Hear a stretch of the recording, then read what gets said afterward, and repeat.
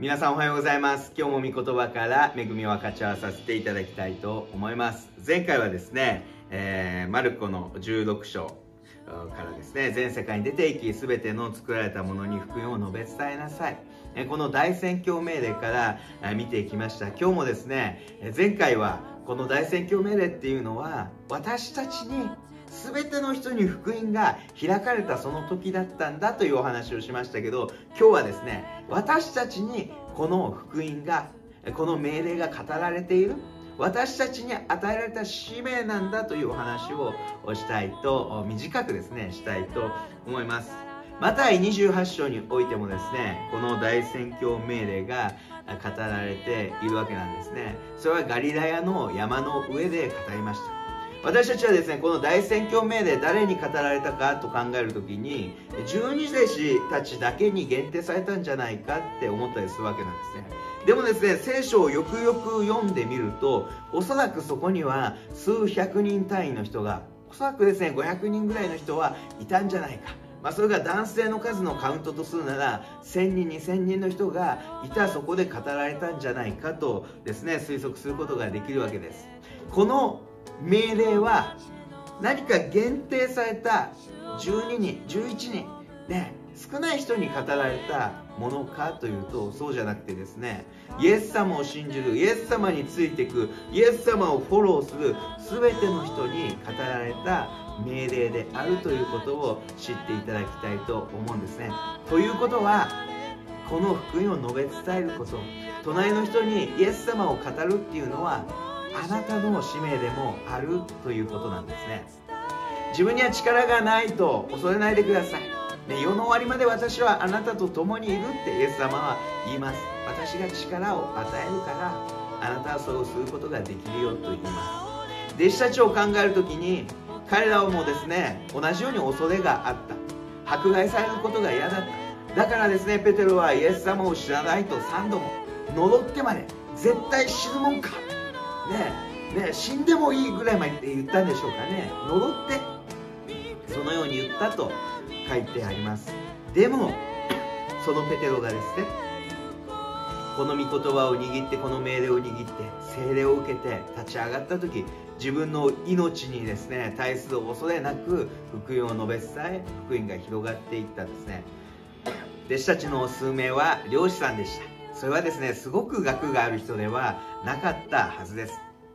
皆さんよりですね学歴的には低いそのような人たちだったかもしれない。でもイエス様は彼らにを選んだんですね。すごく優秀な人を選んだかそういうわけではなかったかもしれない。またですねある人はもともと修税人だった。税金を集める。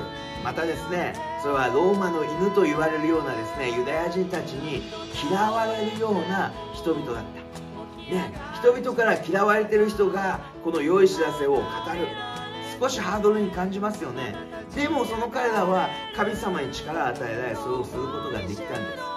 皆さんが今どんなでも恐れがあってもなくても神様にあって私たちはすることができるということなんですね。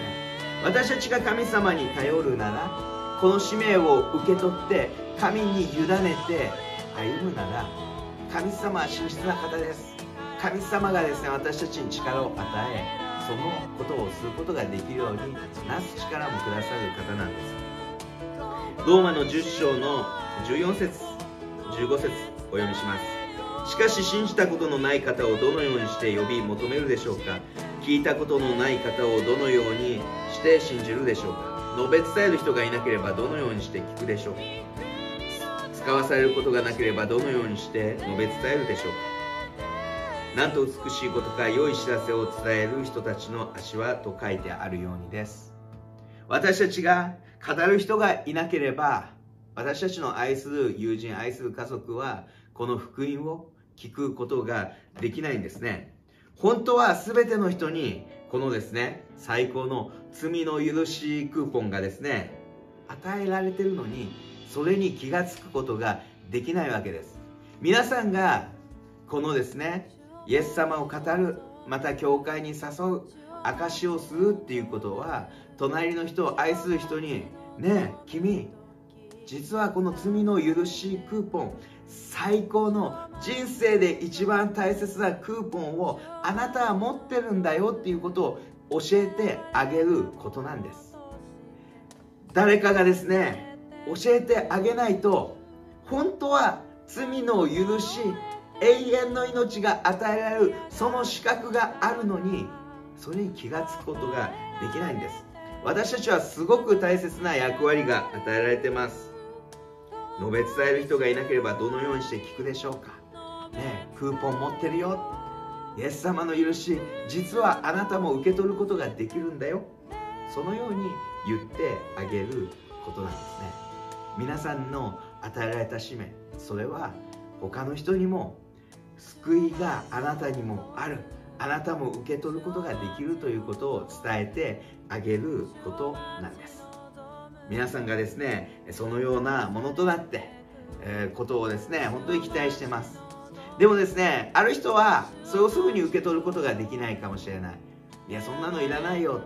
反発する人もいるかもしれない。でも皆さんですねそれで落ち込まないでください。がっかりしないでください。私たちはですね語るという役割語るという使命が与えられてます。述べ伝えるという使命が与えられてます。またですね、えー、取りなすことそれが私たちの役割です。でも本当に救いをもたらしてくださるのは神様です。このクーポンが与えられるということを知ってですね使うか使わないかそれはその人のですね自由でもあるわけなんですね。